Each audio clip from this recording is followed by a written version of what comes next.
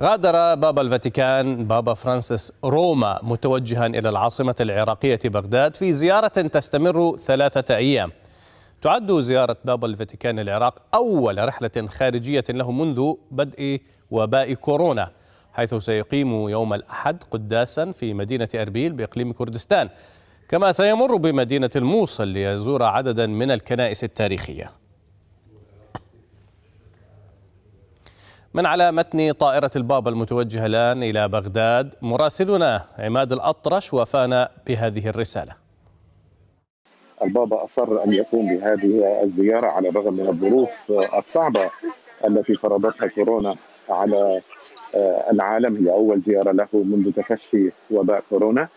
وهي أول زيارة لبابا الفاتيكان إلى العراق. كان من المفترض عام 2000 أن يقوم زيارة العراق ولكن الأمور لم يتم الاتفاق حينها مع النظام الذي كان قائما في العراق حينها وألغيت الزيارة عام 2000 وهو أصر قبل يومين دعا جميع المؤمنين إلى الصلاة له من أجل أن يتم يتم هذه الزيارة التي يرغبها بشدة وقال في رسالته بالأمس إلى الشعب العراقي بأنه يقصد العراق حاجا وخاصة بأنه يطوف إلى زيارة في منطقة أور في الجنوب العراقي في محافظة بلقار بالقرب من الناصرية وهي مهد النبي إبراهيم إبراهيم الذي يعتبر طبعا أصل الديانات السماوية الموحدة الديانة اليهودية والإسلامية والمسيحية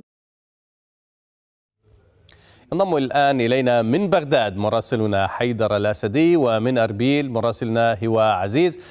إذا حيدر أبدأ معك من بغداد. كيف الاستعدادات هي الآن لاستقبال بابا الفاتيكان؟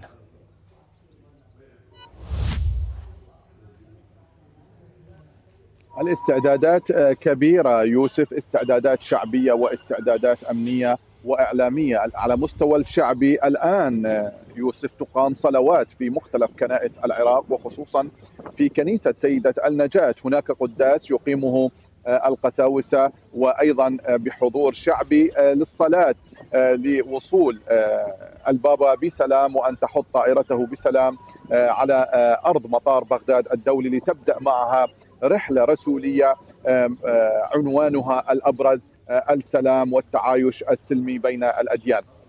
على المستوى الأمني هناك إجراءات أمنية غير مسبوقة في بغداد تبدأ من مطار بغداد باتجاه القصر الرئاسي. الآن نتواجد في الموقع المخصص لتواجد الإعلاميين حيث سننتقل بعد ذلك إلى القصر الرئاسي حيث مراسم الاستقبال الرسمي التي سوف يقيمها الرئيس العراقي برهم صالح لنيافة البابا الذي سيلتقي هناك بالفعاليات الشعبية ورؤساء الطوائف العراقية على اعتبار أن العراق هو من أكبر وأكثر الدول تنوعا عرقيا في المنطقة. هذه الفعاليات سوف تنتهي بلقاء قداسة البابا ومن ثم يتم الانتقال إلى كنيسة مار يوسف أو كنيسة سيدة النجاة لإقامة قداس يقيمه البابا بحضور شعبي ورسمي. طيب أنتقل إلى أربيل. مراسلنا هناك هو عزيز هو ما خصوصيه زيارة البابا لأربيل وما هو برنامجه هناك؟